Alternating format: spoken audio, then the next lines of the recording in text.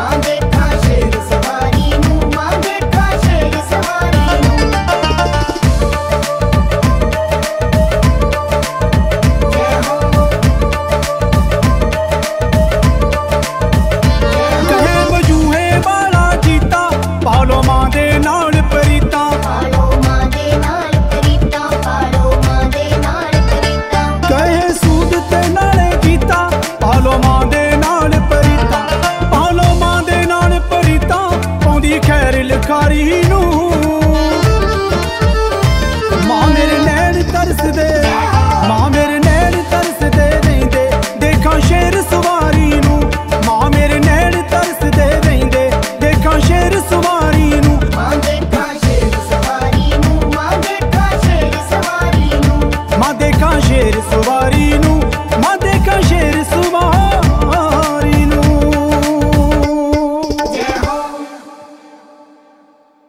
ਮੇਰੇ ਲੈਣ ਤਰਸਦੇ।